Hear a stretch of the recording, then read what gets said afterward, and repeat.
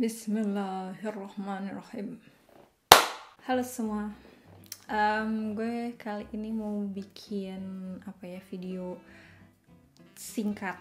Dan sebenarnya agak spontan juga sih karena udah lama. Ya kayaknya udah dua minggu nih kita mangkir lagi dari dunia peryoutuban hari ini gue dedikasikan untuk konten YouTube.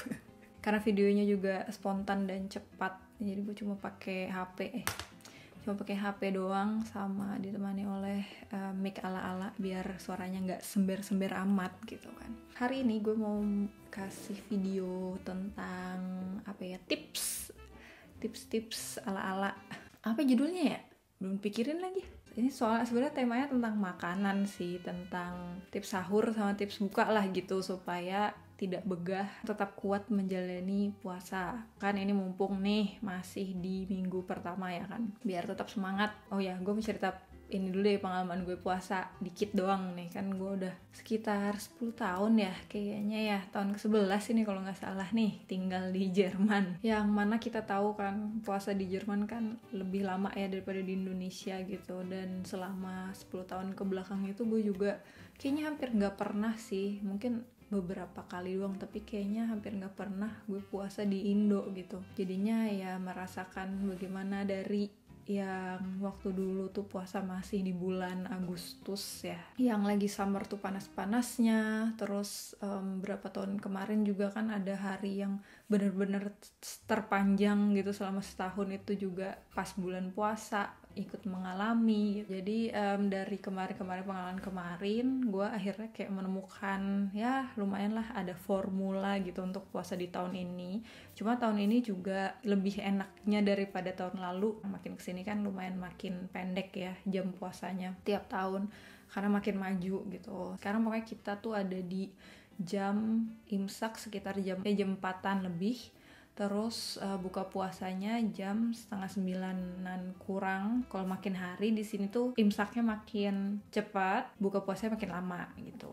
Kalau di sini kan. Jadi nanti di bulan uh, di hari-hari ke-30 mungkin gue masih akan merasakan yang lumayan panjang lagi. Cuma sekarang masih oke okay lah 17 jam kira-kira ya. Ya jadi langsung saja ya ke tips pertama. Salah satu dari yang penting kan ya pasti cairan kan. Itu kita semua juga pasti tahu lah ya. Kadang-kadang pas memasuki bulan puasa tuh langsung kayak kita bener-bener panik. Minum tuh langsung kayak ekstra banyak banget gitu kan. Yang tadinya biasanya cuma minum sehari mungkin bisa nggak sampai satu liter sekarang tuh dibela-belain sampai 2 liter gitu. Dan efeknya dikit-dikit pipis baru um, tidur sebenarnya pengen habis sahur gitu.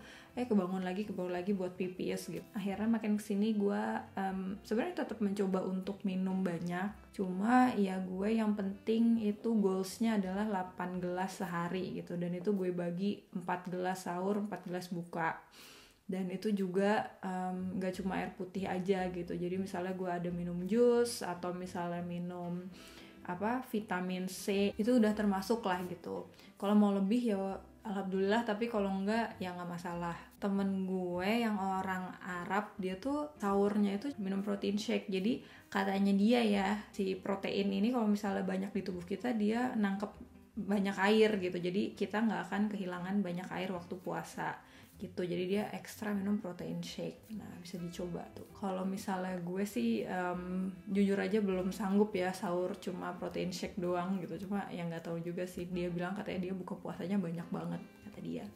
Gue sekarang lagi nyobain untuk mengurangin minum teh waktu buka. Karena kalau buka puasa kan uh, apa namanya pengennya pasti yang anget-anget gitu kan buat badan. Gue jadi sekarang ngeganti ke air anget aja gitu. Kalau teh itu soalnya ada dia bisa ngasih efek cepet pipis gitu. Jadinya airnya banyak yang keluar lagi. Ya kalau sahur gue ada jus gitu cuma nanti kita bahas lagi yang di tips selanjutnya Nah terus habis itu yang selanjutnya adalah perbanyak serat daripada karbohidrat. Jadi misalnya biasanya kalau makan nasi itu sampai setengah piring, terus lauknya misalnya daging, terus ada misalnya tumis-tumisnya tapi cuma kayak um, 2 sendok gitu.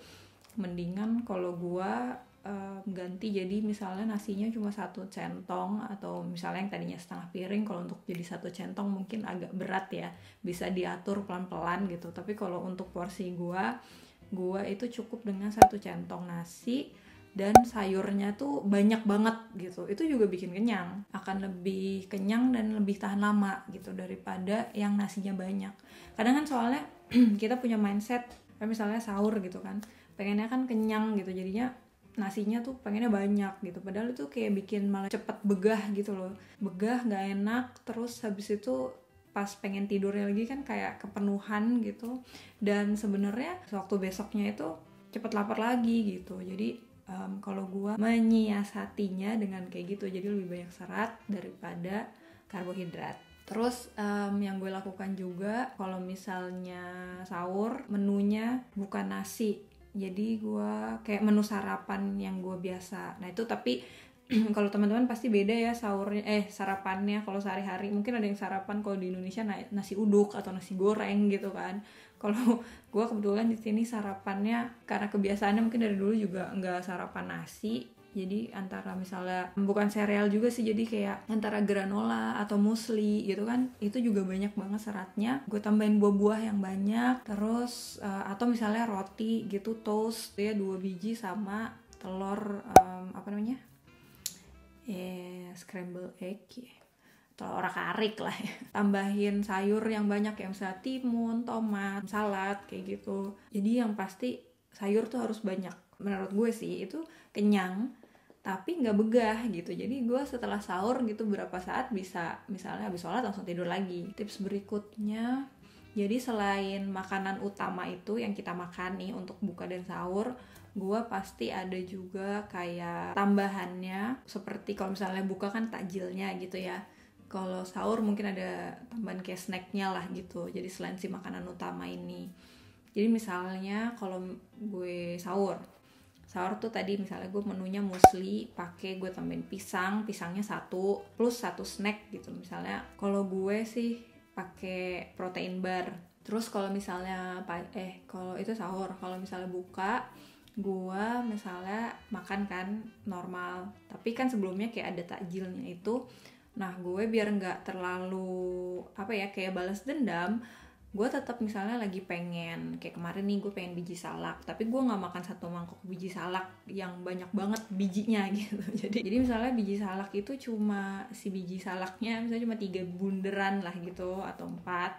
Tergantung besarnya ya gue kok bikin biji salak agak lumayan gede-gede sama buah-buahan gitu. Sekarang gue lagi mewajibkan pokoknya setiap makan itu harus ada buah-buahannya atau sayur-sayurannya. Jadi kalau misalnya di setiap selingan atau snack itu pasti harus ada buah-buahannya. Terus di setiap makan besar itu harus selalu ada sayur-sayurannya gitu. Jadi kayak tadi pas buka kayak pengen takjil itu. Atau misalnya pengen takjil yang asin-asin gorengan atau cimol tuh gue juga beli tuh. Jadi cimolnya kayak nggak satu piring. Kalau dulu kan gue buka puasa misalnya gue bikin cireng nih satu piring. Terus itu habis gitu kan jadi nggak gue cuma misalnya cirengnya yang penting gue seneng aja gitu cuma makan tiga biji misalnya. Sisanya gue makan buah gitu buahnya kalau satu piring ya bagus gitu kan. Jadi itu juga apa ya mengurangi kita terlalu banyak makan dan jadi nggak begah juga. Nah terus tadi makan besarnya selalu harus sayurnya lebih banyak daripada karbo. Terus kayak misalnya sahur itu gue selain yang gue makan yang tadi gue bilang itu gue pasti ada jus itu. Itu buahnya kan jadi kayak di snacknya itu. Jadi selain si protein bar yang gue makan ini gue pasti ada jus gitu.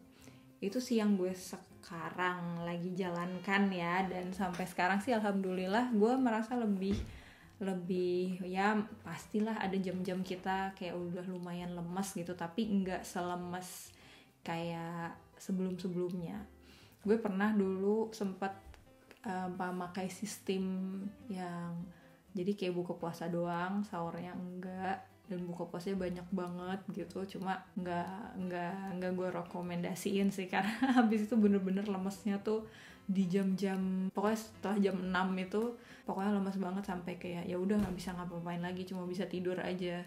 Mengharap pahala dari tidur gitu kan sampai buka puasa kayak gitu. Tapi kalau sekarang gue masih bisa kerja kan gue naik sepeda pulang juga naik sepeda gue masih bisa belanja gitu gitu loh. Gue masih bisa sedikit beraktivitas gitu nggak yang lemas-lemas banget.